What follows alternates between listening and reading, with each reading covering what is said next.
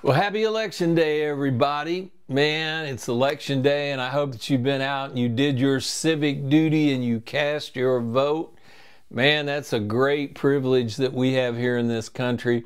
And here's my statement for today Make America grateful again. I saw this t shirt back in early 2017 after the election everybody was moaning and groaning and griping and complaining and all that stuff. And I thought, that's a message that I need to be talking about. So I bought this t shirt, going to use it as a sermon illustration. I was scheduled to preach in this church and I had a shirt on over the t shirt, you know, so I'd look halfway respectable. And uh, I was going to make a dramatic point, drive my truth home about the power of gratitude because you know, the absence of gratitude equals entitlement. I stole that quote someplace. I got it at the good quote section at Walmart's.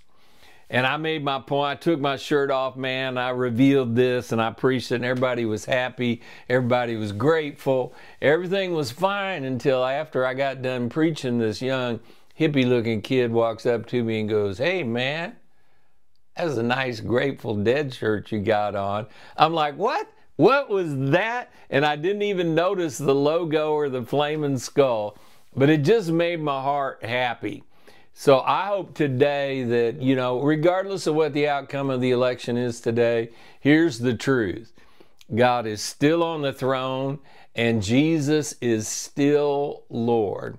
That ain't changing, and that's some good theology right there.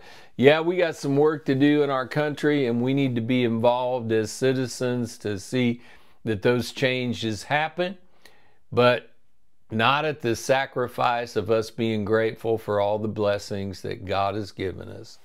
I hope you have a great day. Adios.